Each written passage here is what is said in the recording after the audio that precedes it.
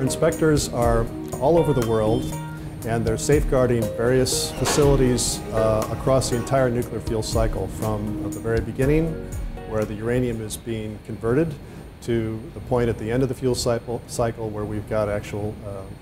reprocessing of the, of the spent nuclear fuel to separate the uranium and plutonium. And throughout these different facilities, our inspectors are collecting samples.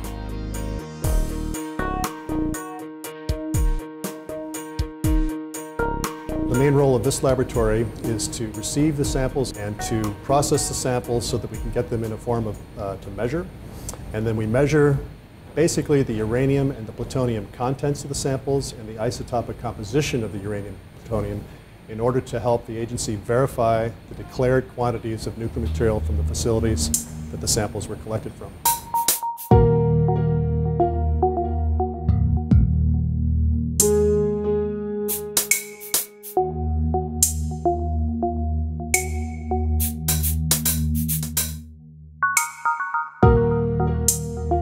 We receive nuclear materials from all points of the nuclear fuel cycle. This means coming from almost the point that the uranium is extracted from the ground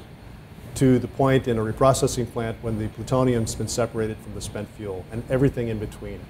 So we're getting samples, for instance, in this plutonium laboratory of plutonium samples or plutonium and uranium mixed samples coming from reprocessing plants. And this is extremely important because the agency needs to confirm that plutonium stays in the civilian nuclear fuel cycle and is not being used for any other purposes other than peaceful purposes. In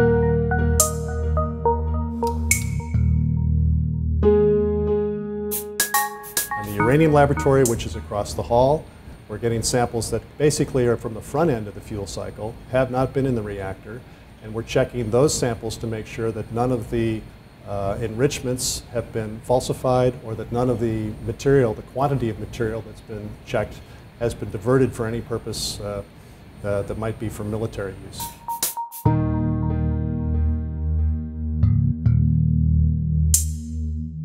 There are many ways that a proliferator could actually divert nuclear material for making a nuclear weapon.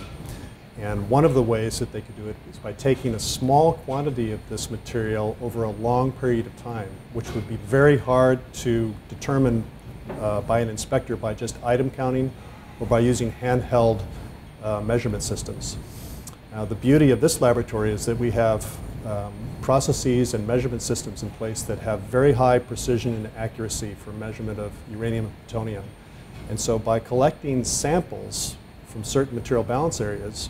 we can determine whether this small diversion, we call it a bias defect, we can determine whether a bias defect has taken place or not because of the high precision and high accuracy of our measurement systems.